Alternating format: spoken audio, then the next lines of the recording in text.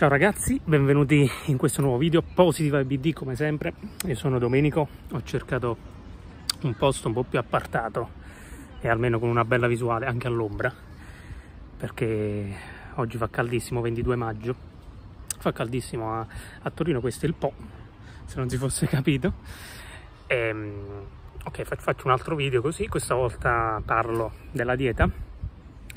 E, eh, più che altro un'osservazione che mi è venuta ultimamente e che praticamente spero si senta c'è un po' di vento che praticamente io eh, nella, nella, mia alimentazione mi capita di fare due tipologie di sgarri ok?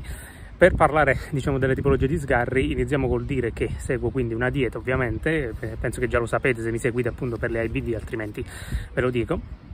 E ho cambiato diverse diete nel corso del tempo adesso ho trovato una nutrizionista che secondo me è più brava rispetto a quelle di prima e sto seguendo una dieta con un protocollo per appunto le malattie autoimmuni. Quindi valida sia per l'IBD sia per altre malattie autoimmuni. E in pratica in questo protocollo ci sono determinati alimenti che non devo mangiare. Ad esempio determinate sostanze. Ad esempio il lattosio ad esempio um, il glutine e anche altre che non ricordo. Poi ho tutto indicato sulla dieta diciamo le cose che posso mangiare. Quindi per esempio a livello di carboidrati posso mangiare il riso e le patate ok? Eh, non la pasta perché c'è il glutine non il pane.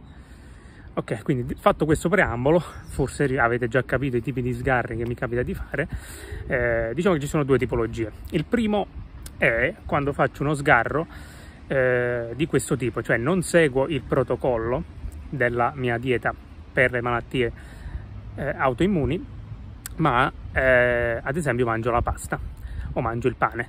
Eh, quindi è uno sgarro che a livello di uh, macronutrienti non, non è sbagliato, cioè seguo comunque le quantità giuste però mangio una cosa che potrebbe eh, darmi fastidio solo a me. Quindi una persona normale quel, quel tipo quella tipologia di pasto l'avrebbe potuta fare normalmente rientrando nella normale dieta. Io no.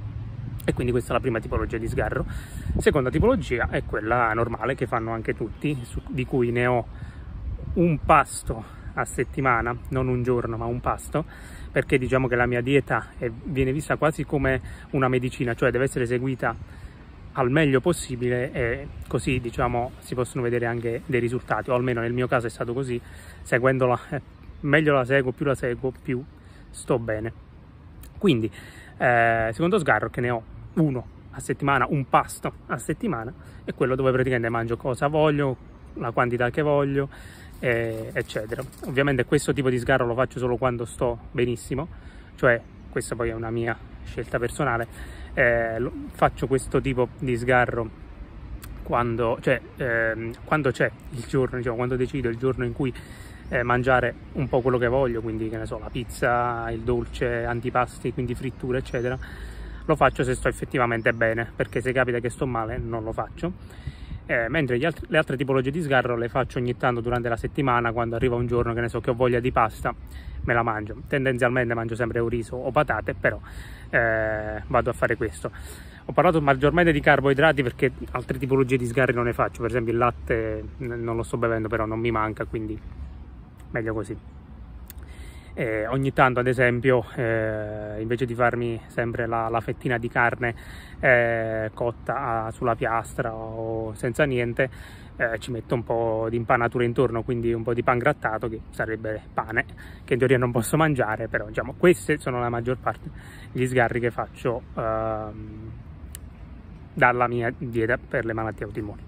Niente volevo fare questo video ricordatevi di iscrivervi, di lasciare un commento eccetera eccetera. Fatemi sapere se vi piacciono di più questi video diciamo dove trovo una location con la natura oppure se vi piacciono di più i video che faccio a casa. Secondo me sono più belli questi. E, ehm, e noi ci vediamo in un prossimo video